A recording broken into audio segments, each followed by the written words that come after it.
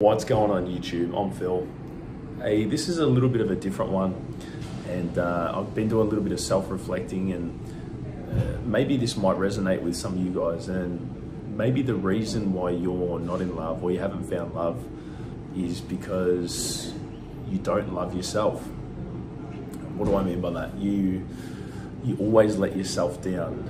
Um, you disrespect your body through drugs, alcohol, gambling, porn, uh, masturbating, lying to people, womanizing, um, not keeping your word to yourself. See all these things trickle into other stages of your life. And I've just been doing some self reflecting because I am single, but if I'm honest with you, it's I can be honest and say that I really didn't love myself, uh, and I was proving it through my actions of partying non-stop, doing multiple days uh, partying and not coming home, to to telling white lies, not being direct with people, uh, all that kind of stuff. Maybe that is the main reason why uh, I'm single and I'm paying for some karmic debt, and that's why the right person hasn't maybe come into my life, and that's okay.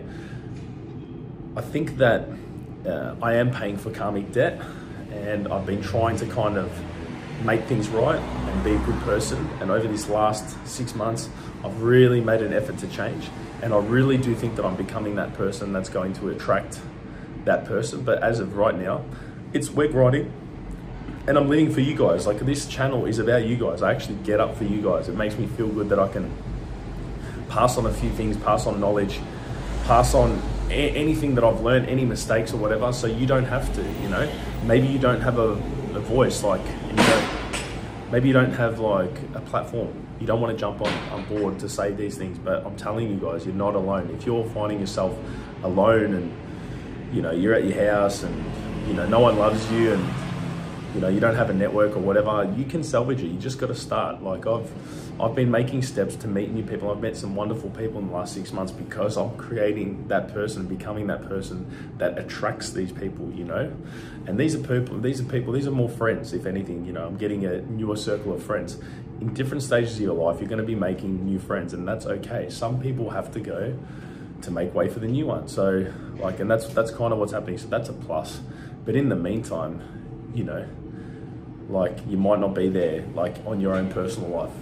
And that's okay. What i'm trying to tell you is that you need to become a different person that attracts the type of person that you want. Like you need to ask yourself what would what would that person be looking for?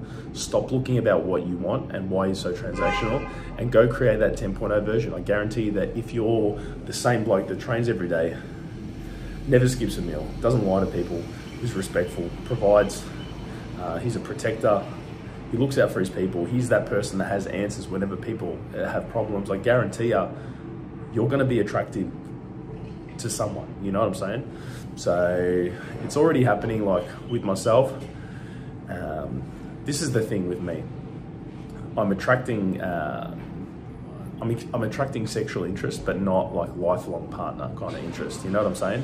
So like, I'm done with the whole sex thing. I'm telling you guys right now, it only gets you so far. Maybe because of all my womanizing and stuff that I have been indulging in the last six to 12 months, maybe that's costing me. Maybe that's God saying, you know what, Phil, fuck you. You know what I mean? You will not find that because you can't have this and that. You can't be living two lives, you know what I mean? Can't be walking two paths. You need to walk one path. So I've decided that I'm not going to be womanizing like that anymore. That's the last thing I had to give up. And that's what I'm going to be sticking to. So if I don't have sex in a long time, that is a consequence that I'm willing to take.